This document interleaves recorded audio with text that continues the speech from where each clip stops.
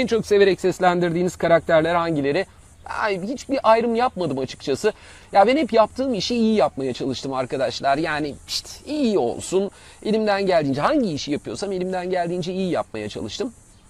O yüzden bir ayrım yapmayıp hepsine aynı özenle davranmaya çalıştım. Yani bunu hep şöyle düşünüyorum. Bir taksi şoförünü en e, severek e, seyahat ettiğiniz müşteriniz hangisiydi diye ya da bir doktora en çok işte zevk aldığınız ameliyat hangisiydi diye sorulmaz herhalde. Ama onların kendi hikayeleri içinde böyle özellikli durumlar vardır. Ya şu müşteri vardı onunla çok eğlenmiştim. Şu ameliyat benim için zordu. Başarmak bana iyi gelmişti hikayeleri vardır. Benim de vardır.